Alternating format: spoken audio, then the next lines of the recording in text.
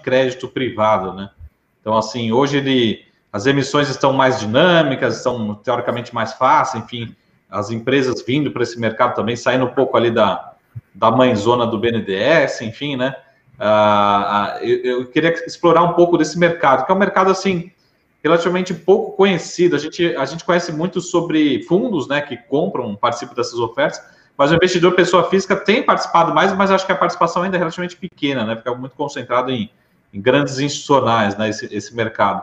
Mas eu queria falar um pouco sobre isso que, e, e ter um paralelo um pouco sobre como se fosse, não sei se é muito simplista comparar, por exemplo, com títulos públicos, como você está falando, porque tem emissões pré-fixadas, pós-fixadas, emissões, é, enfim, ah, com prêmio de inflação, produção de inflação.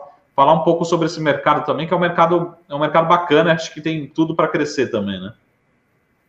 Bom, ótimo ponto, Saravalli. É, o nosso sonho aqui, né, do lado da renda fixa, é que a gente chegue no mercado de crédito privado, né, como é o mercado americano, como é o mercado nos Estados Unidos, um mercado de bons, assim, super dinâmico, com liquidez, com taxas extraordinárias, né, é muito legal. E aí esse mercado brasileiro engatinha, né, óbvio que vem melhorando, mas tem muitas oportunidades boas, né, é, recentemente eu até soltei ali um, um, relatório, né? A gente soltou da Localiza, né? A gente pensa em Localiza, Localiza que até hoje termina o período de reserva da debenture que ela lançou.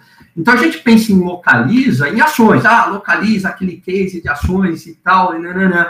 E na verdade, poxa, era uma debenture interessante ali, né? É, para olhar com, com, com, cuidado, com carinho para essa, essa debenture. Então você tem ótimas empresas né? É, triple A, com risco de crédito é, muito baixo, com perspectivas de é, fluxos de caixa operacionais altas, é, enfim, e com um modelo de negócio bastante interessante, que a probabilidade de uma empresa dessa é, é, falir é muito pequena. Né? E aí o que é interessante, essas empresas elas oferecem um prêmio em relação a, como você bem colocou, aos títulos públicos. Então, é uma oportunidade uh, de eu ter uma rentabilidade maior. Né? E, e, o que é interessante também, né, o Saravalli, é, ao contrário do mercado de títulos bancários, você tem uma liquidez maior nesse mercado, tá? Lógico, é aí de, de grandes empresas. Então,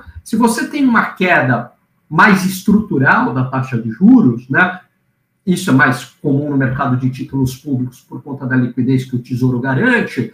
É, Para a pessoa física, também é possível sair antes do, do, do, vencimento e que com um ganho turbinado, com um ganho anualizado acima daquele que você contratou. Então, eu acho que assim é muito interessante a gente pensar é, em debentures, em CRA, né, em CRI, que compõem esse mercado de uh, crédito privado, e que vem crescendo muito. Tanto é verdade que se você pegar fundos imobiliários, né, o, o próprio Arthur, que já teve aí, enfim, né, uh, o, o, você tem uma parte ali de, de fundos imobiliários que compram papéis de crédito privado, que compram CRI, quer dizer, são grandes gestores, grandes fundos, e eles estão comprando a um motivo, não é à toa que eles estão comprando.